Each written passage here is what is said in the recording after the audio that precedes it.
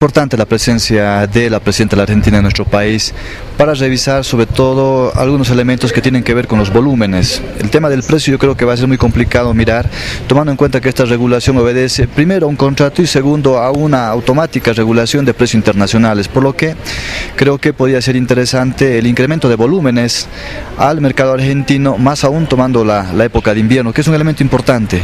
Sin embargo, existen otros elementos que nos parece sumamente preocupantes que también deberían analizarse, como por ejemplo el trato, o más bien el maltrato de ciudadanos bolivianos en la República Argentina. Creo que el presidente Evo Morales, más allá de ser frío y muy calculador en el tema de los negocios, tiene que abrirse a ver cómo hermanos bolivianos sufren en la República Argentina cuando este gobierno no le da las condiciones todavía para poder evitar, por ejemplo, la trata de personas. El tráfico, sobre todo el departamento de Tarija hacia la Argentina, es bastante fuerte la migración y creo que estos aspectos también deberían estar dentro de la agenda. Bueno, yo creo que entre dos enfermos no, hay, no hacen un sano, ¿no? El problema de la economía argentina es muy grave.